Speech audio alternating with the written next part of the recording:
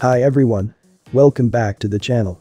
Before we start, may I ask for your help please to lower the discrepancy between the subscribed and unsubscribed viewers by of course, subscribing, if you haven't yet. Please help me reach the 1000 subscribers before the end of this year. Alright. I have an 11.6 inch Asus netbook here, which is about 4 to 5 years old now. Since it is a netbook, it only has an Intel Celeron N4000 chip with 4 gigs of RAM. It's quite slow now, so I only use this for basic document management and for downloading large files which I can leave overnight since the netbook consumes less electricity. Aiming on this is no question, terrible, and we also tried using this on a Zoom meeting, and the Intel Celeron N4000 chip just can't keep up. The screen you're seeing now is being recorded by OBS within this netbook, and as you can see, the recording is not that great. It has too many drop frames for almost every 2 to 5 seconds. Currently, I only have Chrome with 3 tabs, a task manager, and OBS open right now, but the machine can barely keep up with the currently opened application. Basically, multitasking is a big challenge for this laptop. So, imagine my surprise when I received a notification for a Windows 11 update on this netbook. I thought the minimum hardware requirement for Windows 11 is an 8th gen i3 chips, but it turns out that I am wrong, since even the Celeron chips received the notification. I have been thinking for a week now if I should update this Celeron laptop to Windows 11 or not, since I'm afraid that Celeron might not work properly on it and might only cause more problem for me. But considering that the i5 6th gen laptop I upgraded to Windows 11 has significantly improved its performance, and also for the sake of answering the question if Intel Celeron can run on Windows 11, I thought, why not give it a try? I can always roll it back anyway.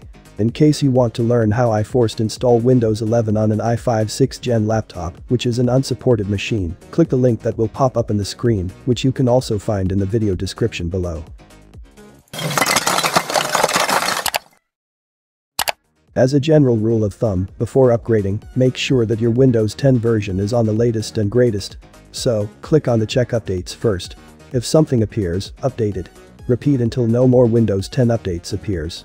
If you want to learn more about the things to do before, during and after a Windows 11 upgrade, click the link that will pop up in the screen or follow the same link available in the video description. Alright. The netbook is up to date for Windows 10. Here goes nothing. Let's download and install. Time check at 7.07 pm. After one and a half hour, we are at 99% of the download which is faster compared to what I did for the i5 6th gen laptop. Another 13 minutes and we are at 100% download. This 100% took a while though. It had stayed on a 100% for the next 1 hour and 20 minutes. At around 10 pm, the download is finally finished and installation started. Although the download was faster here compared to the i5 6th gen laptop, the installation is another story. After more than 5 hours already, we are still only at 95% installation. It's already 3 am. Looks like I'm pulling an all-nighter here. The remaining 5% for the installation took another 4 minutes. We are now at a 100%. Add another 9 minutes and we are now ready to restart. This is after about 8 and half hours from when we start clicking the download and install. Alright it is restarting now. Hopefully this will be faster now.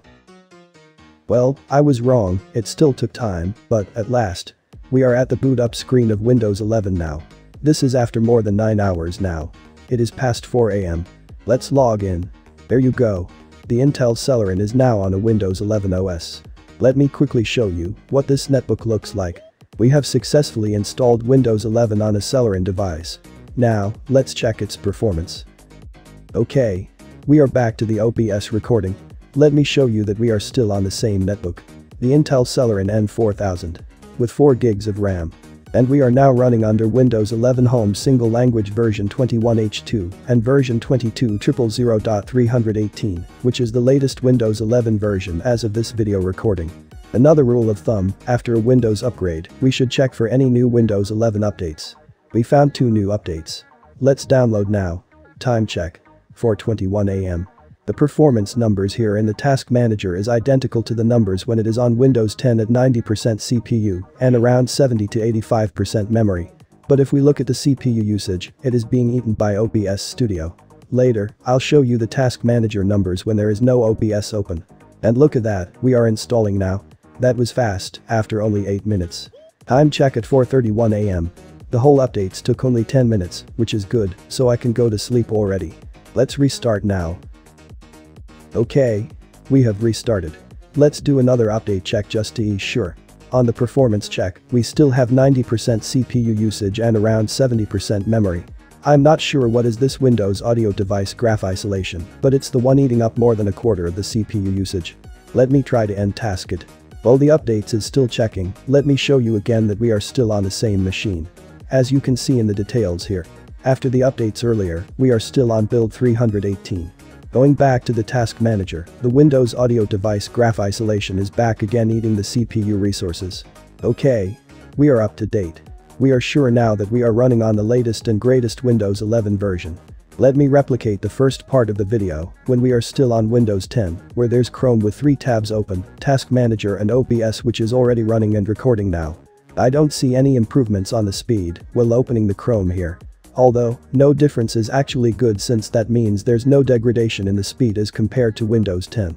You can see the OBS recording still pauses from time to time, and YouTube hasn't even loaded the page yet.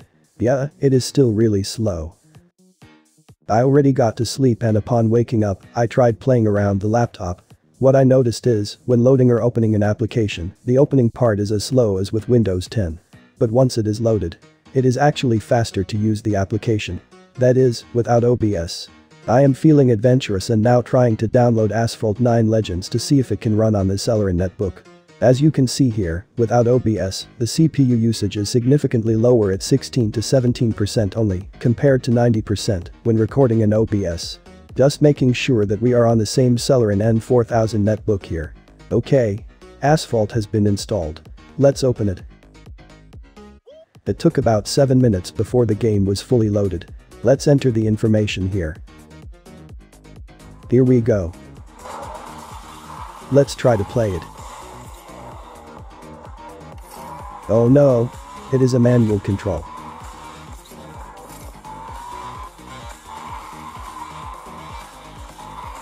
Now you know I suck big time on asphalt manual control.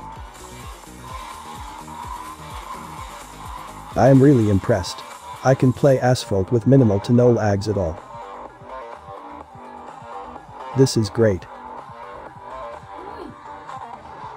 I don't think this would be possible on Windows 10.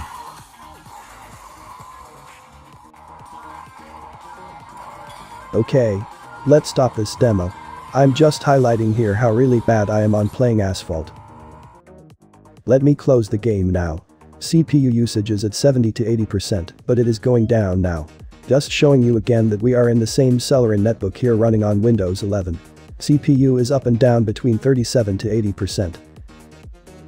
I mentioned earlier that on Windows 10, this netbook is having a hard time making video calls in Zoom. So, I tried it now. Loading the application still took time, but once it is loaded, it is working perfectly as you can see here. I am on a video call with myself. How lonely can you be? So, going back to the question. Can Windows 11 run on an Intel Celeron machine? The answer is absolutely yes. The performance difference that I experienced when I upgraded an i5 6th gen laptop is lot bigger compared to upgrading the Celeron netbook, but the quantifying keyword there is there is an improvement on the performance.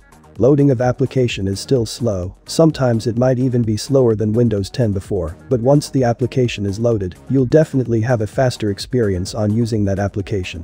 On Windows 10 before, when I am copying files from an external storage to the internal hard drive, or vice versa, you almost can't do anything else since the copying process of Windows Explorer application takes up most of the memory and CPU usage.